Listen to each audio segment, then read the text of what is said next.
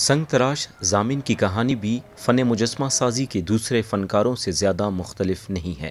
اٹھارہ سال قبل زامن نے جب مجسمہ سازی شروع کی تو ان کے لیے کوئٹہ جیسے علاقے میں یہ کام زیادہ حوصلہ افزا نہیں تھا، مگر وقت کے ساتھ ساتھ سب بہتر ہوتا گیا۔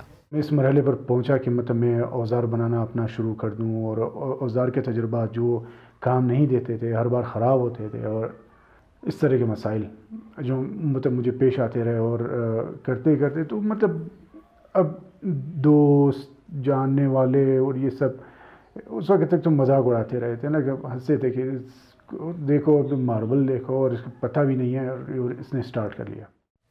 سنگ تراشی ملک بھر میں دم توڑتا فن بنتا جا رہا ہے اور کوئٹہ میں اس کے فنکار بہت ہی کم ملتے ہیں۔ ایسے میں کوئٹہ کے ہزارہ کمیونٹی سے تعلق رکھنے والے ضامن نہ صرف اس فن کو زندہ رکھے ہوئے ہیں، بلکہ مقامی اسکول میں وہ بچوں کو اس فن سے روشناس کرانے میں جتے ہوئے ہیں۔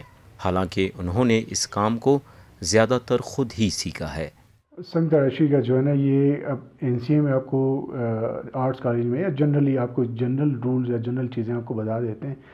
اور باقی یہ سنگ تراشی کا، یہ جو ہے میں نے خود سے سیکھا ہے، یہاں پہ اس طرح کا کوئی بیسیکلی ٹریڈیشن نہیں ہے۔ موسٹلی میں میری کوشش یہ ہوتی ہے کہ میں تو ماربل میں کروں اب ماربل ایک بہت مشکل میڈیم ہے اس کام کے لیے، اس کو لے کر آنا سب سے پہلے اور اس کی ہینڈلنگ اتنا مطلب باری سے کوئی پتھر ہوتا ہے۔ ضامن ایک سنگ تراش ہونے کے ساتھ مٹی سے احساسات کو گوننے والے مجسمہ ساز اور مصور بھی ہیں۔ مگر وقت نہ ملنے کی وجہ سے انہوں نے کبھی ان مجسموں اور فن پاروں کو کسی نمائش میں پیش نہیں کیا۔ عجیب سی بات ہے کہ ابھی تک میں نے کوئی اس طرح کی ایگزیبیشن جو ریکارڈ ہو اس طرح کی میں نے کی نہیں لوکل شوز جو اپنے اپنے دوستوں کے لیے اس طرح کے یہ جو میں نے یہ میں نے کر لیے ہیں اس طرح کے۔ ضامن کے بقول، اگر مستقبل میں انہیں موقع ملا تو وہ بین الاقوامی سطح پر منعقد ہونے والی نمائشوں میں ان مجسموں اور فن پاروں کو ضرور پیش کریں گے۔ مرتضی زہری، اردو وی او اے، کوئٹہ۔